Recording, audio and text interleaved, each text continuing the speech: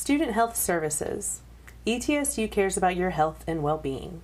The services that we have at ETSU are the Student Health Clinic, Counseling Center, Disability Services, Dental Hygiene Clinic, and Audiology Speech Language Pathology Clinics.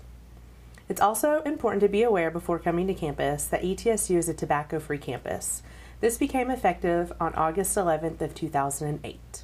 Student Health Services Clinic is located on the first floor of Nicks Hall. They are open from 8 a.m. to 4:30 p.m. Monday through Friday. The clinic is staffed by nurse practitioners, registered nurses, a certified medical assistant, a site coordinator, and technical clerks. A physician is also available for consultation and referrals.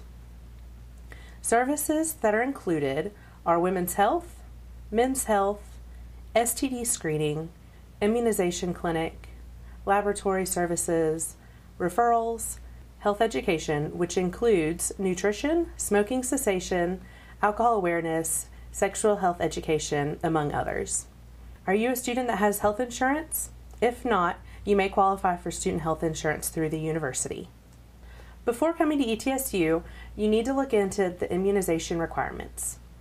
All students should verify and provide proof of the following. Persons born in 1957 and later must provide the ETSU Student Health Clinic with proof of two MMRs since age 1.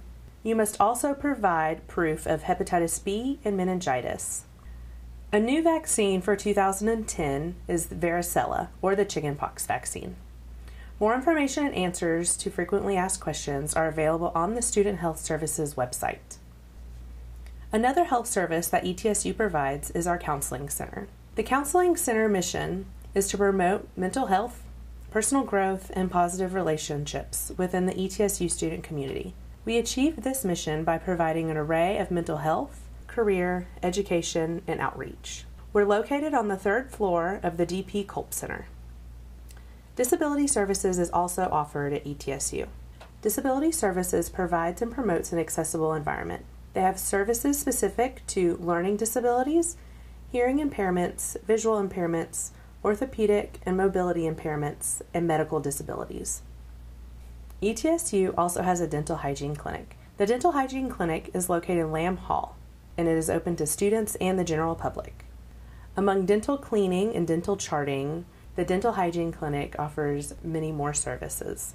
Are you concerned you have a cavity? If you are, make sure you make an appointment with the Dental Hygiene Clinic. Audiology and speech and language pathology clinics are also available to ETSU students. For more information on their services, please visit their website.